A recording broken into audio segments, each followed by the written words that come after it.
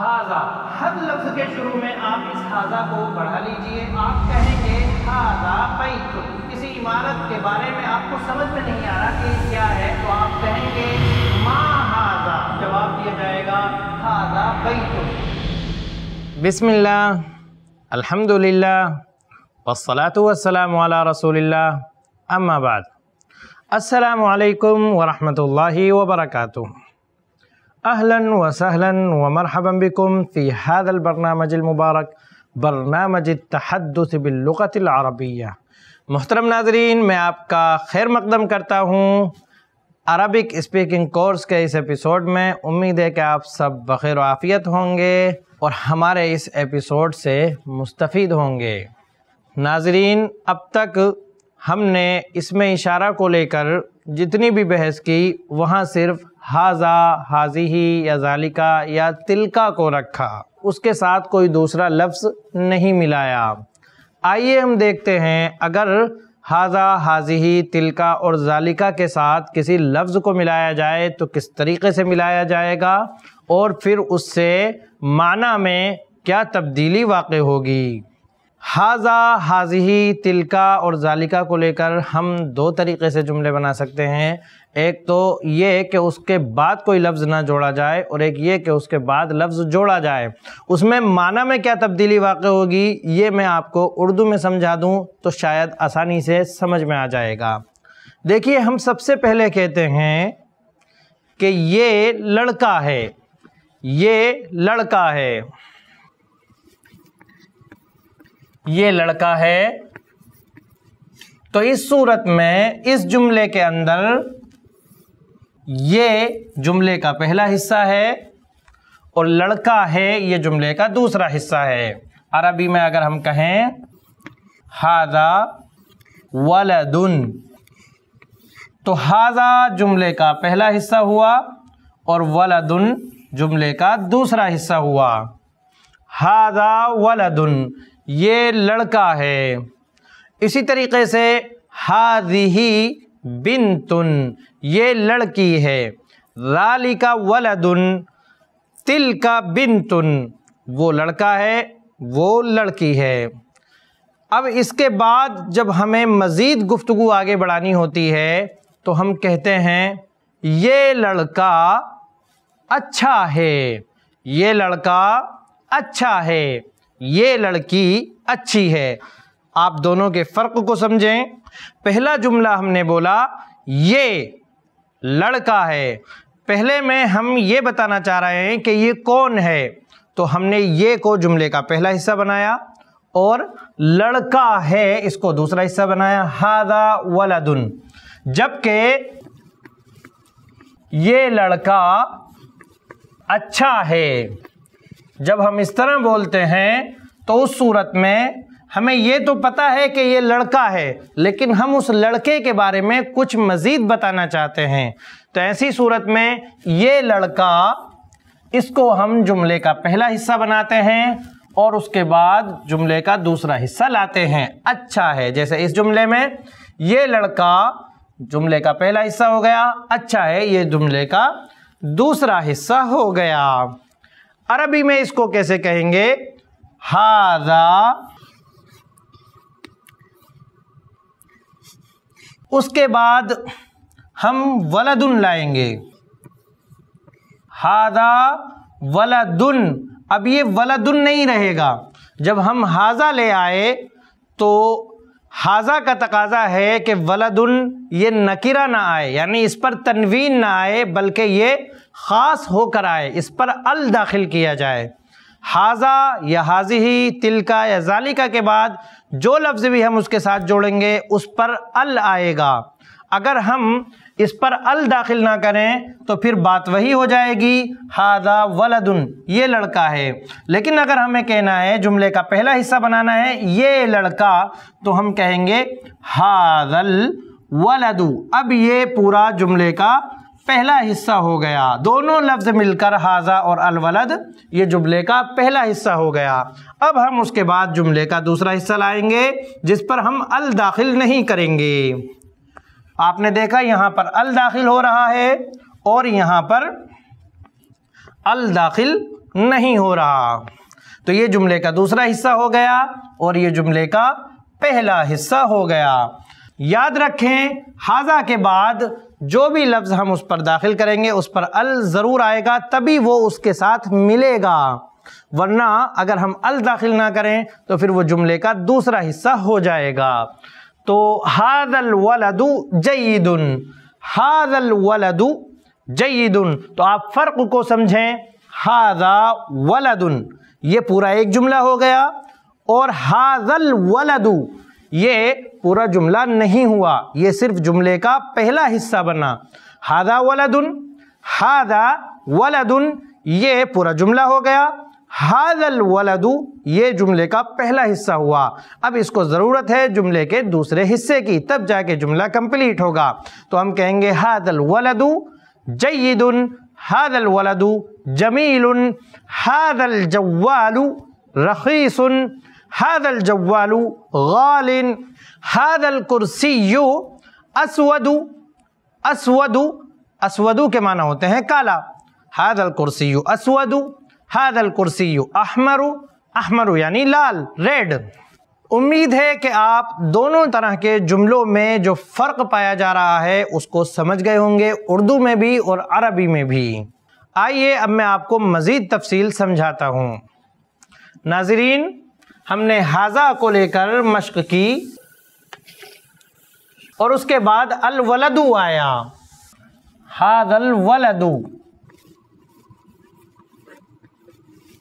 लेकिन अगर हमें ये कहना है कि ये लड़की, हादल वलदू, इसके माना हुए ये लड़का, अगर हमें कहना है ये लड़की तो हम क्या कहेंगे?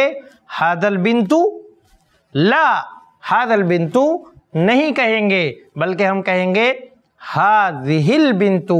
क्यों? क्योंकि फेमिनिन के लिए अगर वो पास में है तो उसकी तरफ़ इशारा करने के लिए हाजीही आता है। तो उसका ख्याल हम यहाँ पर भी रखेंगे। तो लड़की के लिए हम कहेंगे हाजिल बिंतु। हाजिल बिंतु।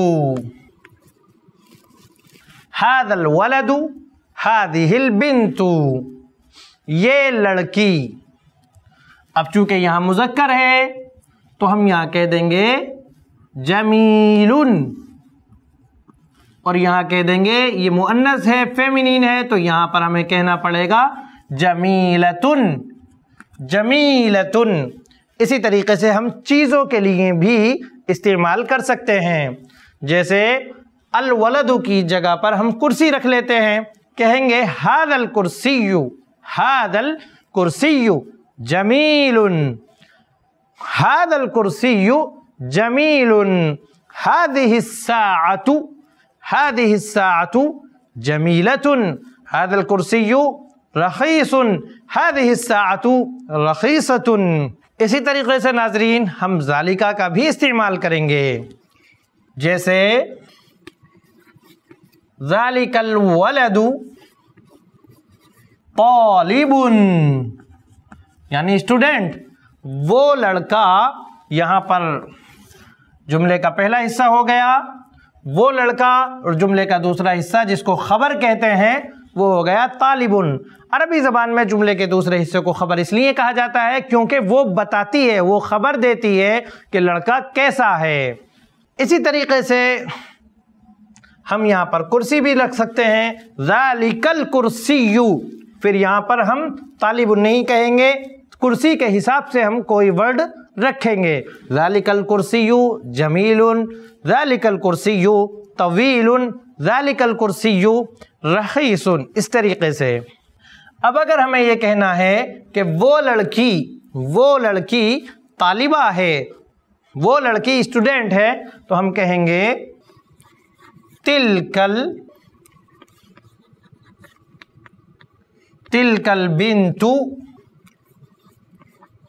तालिबतुन तालिबतुन वो लड़की स्टूडेंट है। इसी तरीके से हम कह सकते हैं तिल कस्सातु जमीलतुन तिल कस्सातु अलल जिदारी, वो घड़ी दीवार पर है। तिल कत्ताविलतु अमामल मुदर्रिसी, वो टेबल मुदर्रिस के सामने है। तिलकल गुरफतु मुगलकतुन, वो कमरा बंद है। तो नाजरीन कराम, मैं समझता हूँ आपने हाजा के साथ किसी लफ्ज़ को मिलाने और जोड़ने का तरीक़ा समझ लिया होगा। यहाँ पर बतौर ख़ास एक बात को मैं मज़ीद दोहरा देना चाहूँगा। वो ये कि जब अगर हमें इस तरीक़े के जुमले बनाने हैं तो हमारे लिए ज़रूरी होगा कि हम जालिका या तिलका या हाजा या हाजी के बाद जो भी लफ्ज़ रख रहे हैं, पहली बात तो यह है कि वो उसके मुनासिब हो। हाजा अगर है तो उसके साथ मुजक्कर ही जुड़ सकता है। हाजी ही है तो मुअन्नस ही जुड़ सकता है। इसी तरीके से जालिका है तो वहाँ पर मुजक्कर यानी मास्कुलिन ही रखना होगा और तिलका के साथ मुअन्नस ही रखना होगा। दूसरी बात यहाँ पर यह ज़रूरी है कि जालिका या तिलका या हाजी या हाजा के बाद जो भी लफ्ज़ आएगा, उस पर अल का दाखिल होना ज़रूरी है। अगर वो किसी का नाम नहीं है तो अल का दाखिल होना ज़रूरी है, क्योंकि अल के बिना कोई लफ्ज़ आम होता है और हाजा जब हम किसी चीज़ की तरफ़ इशारा कर रहे हैं तो वो चीज़ ख़ास हो जाती है, इसलिए वहाँ पर हमें अल लगाना ज़रूरी है, उसे ख़ास बनाने के लिए। अगर आप अल नहीं लगाएँगे तो फिर हमारा जुमला दूसरे अंदाज का बन जाएगा। फिर उस सूरत में हाजा जुमले का एक पार्ट हो जाएगा और बिन तुन या वलदुन ये जुमले का दूसरा हिस्सा हो जाएगा। फिर तिल का बिनतुन जाली का वलदुन, तिल का बिनतुन पर ही जुमला पूरा हो जाएगा और तालिबुन, तालिबतुन जमील या जमीलतुन की ज़रूरत नहीं रहेगी।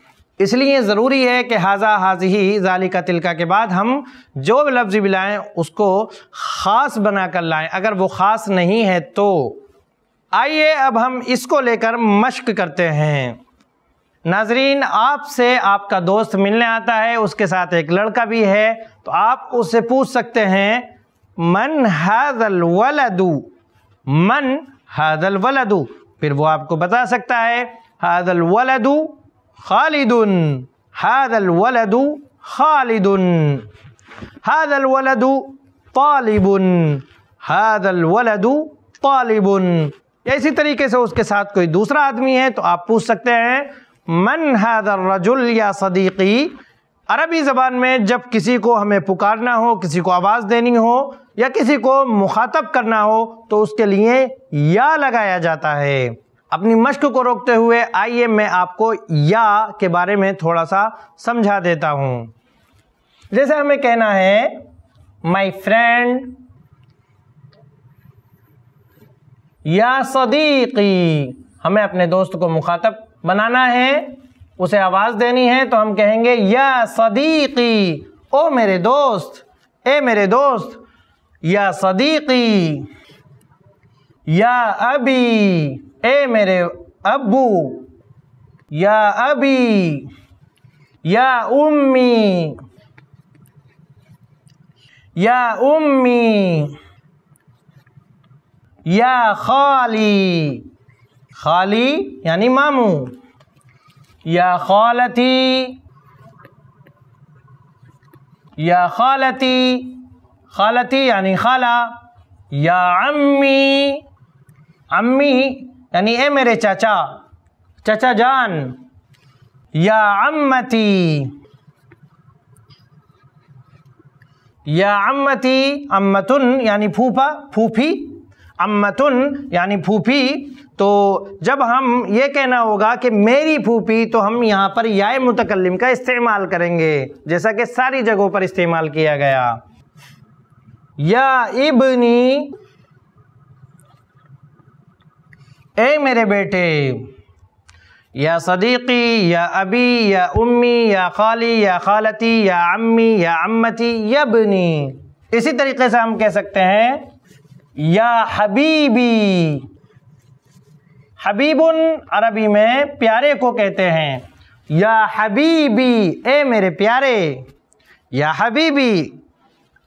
इसी तरीके से या अजीज़ी भी बोलते हैं, ओ माय डियर। या अजीज़ी।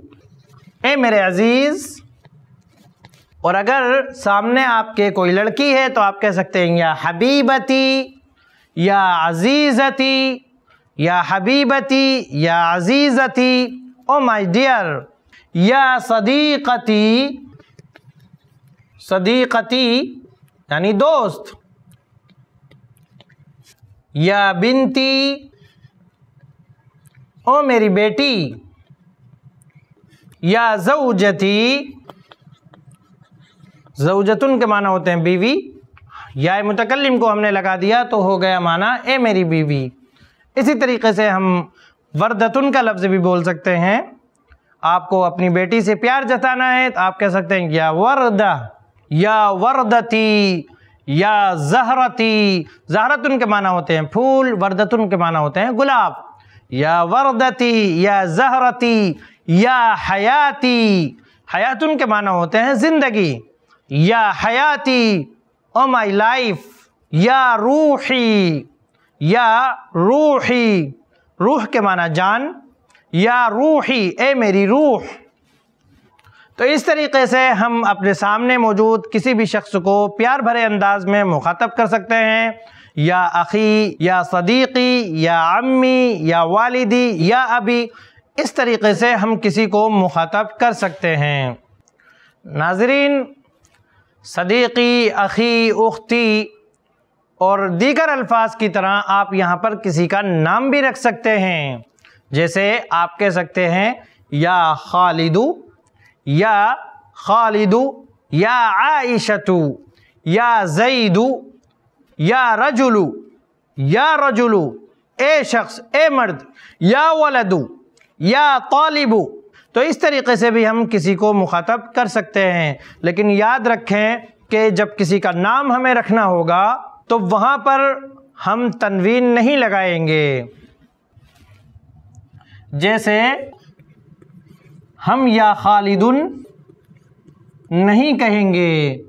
यहाँ पर सिर्फ़ हमें कहना होगा, या खालिदु या खालिदु, या जईदू या हामिदु, या फ़ातिमतु, या आयशतु। आयशा और फ़ातिमा पर तो पहले से ही तनवीन नहीं आती तो वो वैसा का वैसा ही रहेगा।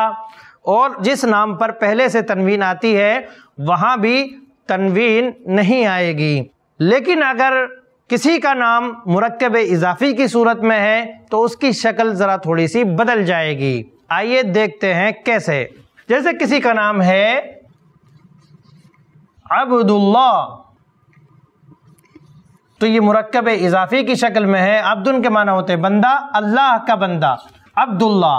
अब अब्दुल्ला नाम के किसी शख्स को अगर हमें पुकारना है तो हम कहेंगे, या अब्दुल्ला। वहाँ पर या अब्दुल्ला नहीं कहेंगे। कहेंगे, या अब्दुल्ला। या अब्दुलरहमान इसी तरीके से, या नूर अल हक या नूर अल हक इसी तरीके से अगर हम नाम के अलावा किसी का अहदा ज़िक्र करके उसे पुकार रहे हैं, या कोई ऐसा लफ्ज़ रखकर उसे पुकार रहे हैं जो उसके लिए सुइटेबल है, मुनासिब है, और वो मुरकब इजाफ़ी की शक्ल में आ रहा है यानी मुजाफ मुजाफिले की शक्ल में आ रहा है तो उस सूरत में भी हालत यही होगी। यानी मुजाफ पर हम ज़बर लगाएँगे। ये तो ज़ेर ही रहेगा, मुजाफिले के आखिर में हमेशा ज़ेर आता है, लेकिन मुजाफ पर तब्दीली वाक़ होगी। जैसे जब सहाब कराम रसूलुल्लाह सल्लल्लाहु अलैहि वसल्लम को आवाज़ देते थे या आपको मुखातब बनाते थे तो वो कहते थे या रसूल अल्लाह या रसूल अल्लाह या रसूल अल्लाह ए अल्लाह के रसूल, या नबी अल्लाह या नबी अल्लाह ए अल्लाह के नबी, या सैद अलकौम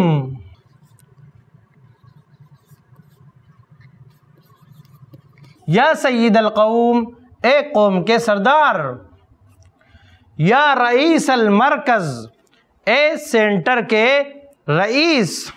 जैसे हम कह सकते हैं, या मुदीर शरीका, ए कंपनी के मैनेजर, या आमिल शरीका, या मुद्दफ़ शरीका, या तबीब अलमुस्तशफ़ा या तबीब अलमुस्तशफ़ा यबन अब्बास। जैसे कोई अब्बास का लड़का है तो इब्नु अब्बासिन, यानी अब्बास का बेटा, जब हम या लगा देंगे मिलाकर पढ़ेंगे तो अलिफ गिर जाएगा। हम कहेंगे, यबन अब्बास, यबन खालिद, यबन हामिद, यबन हलीम।